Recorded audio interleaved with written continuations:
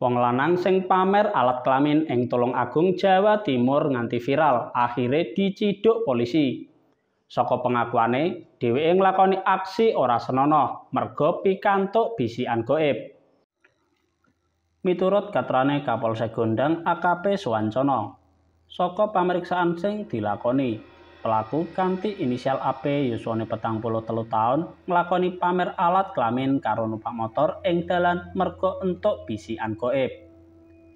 Kaya mengkono kaungkep, sakwise AP dicekel polisi dina Rebo 2 Februari 2022 nalika lagi ngopi ning warung area Kelurahan Kuto Anyar Kecamatan Tolong Agung. Nalika dicekel, Ape sing uga warga Desa Balirejo Kecamatan Kauman Tulung Agung pasrah tanpa nglawan.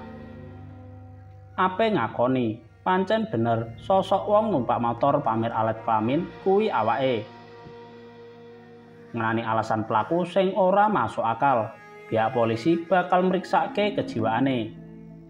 Yen mengkone, Ape dinyatake duwe gangguan jiwa, proses hukum ora bakal diproses. Nanging AP bakal ditambah kening rumah sakit jiwa kanthi pendampingan keluarga lan dinas sosial. Sawetara kuwi, yen AP dinyatake sehat, hukuman kunjara wis ngenteni. Dheweke bakal dijerat pasal 36 Undang-Undang Nomor 4 Tahun 2008 ngenani pornografi kanthi ancaman 10 tahun kunjara.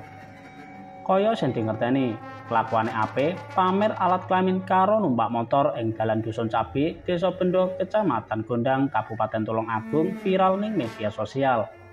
Kelakuane sing kebangetan ndadekke geger nganti para masyarakat pating gremet